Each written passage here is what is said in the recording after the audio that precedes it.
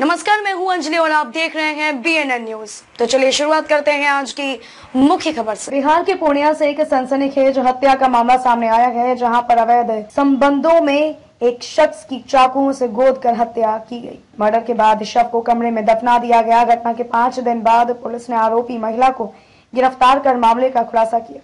Police ने आरोपी की निशानदेही पर कमरे में गड्ढा खोद कर मृतक के शव को बरामद किया और पोस्टमार्टम के लिए भेज दिया। इस घटना का खुलासा होते ही इलाके में सनसनी फैल गई। यह मामला पूर्णिया के सदर थाना स्थित गुलाब बाग के सरना चौक का है। यहाँ रहने वाली आशा देवी का ज़मीन ब्रोकर संपत पासवान नाम के शख्स के साथ इश्क चल रहा था। शादीशुदा और एक बेटे का पिता संपत महिला के प्यार में इतना पागल था कि वो दिन रात उसी के घर पर रहता था। लेकिन अचानक संपत पाँच दिन तक घर नहीं पहुँचा। फिर उसके बेटे ने पुलिस में शिकायत दर्ज कराई। इसके बाद पुलिस ने संपत की खोजबीन शुरू की तो पता चला कि उसे आखिरी बार आशा देवी उर्फ़ सिया नाम की महिला के साथ देखा था। पुलिस ने सत्य के साथ आशा देवी से पूछताछ की, फिर पूरे मामले का खुलासा हुआ। आशा देवी ने पुलिस के सामने स्वीकार किया कि संपत पासवान से उसके अवैध संबंध थे। संपत ने उसे ज़मीन देने का वादा किया था।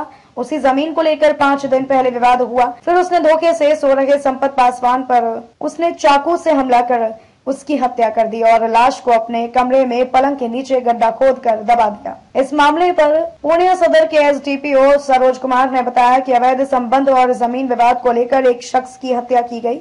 मृतक के लड़के सन्नी कुमार ने प्राथमिकी दर्ज कराई थी। इसके बाद लगातार पुलिस जाँच कर रही थी। पुलिस ने सबसे पहले मृतक के मोबाइल का सीडीआर और इसके आधार पर आशा देवी उर्फ़ सिया देवी को गिरफ़्तार किया। खबरों में अब तक के लिए बस इतना ही। मिलते हैं फिर ऐसी ही किसी बड़ी खबर के साथ। तब तक के लिए नमस्कार और देखते रहिए बी एन न्यूज़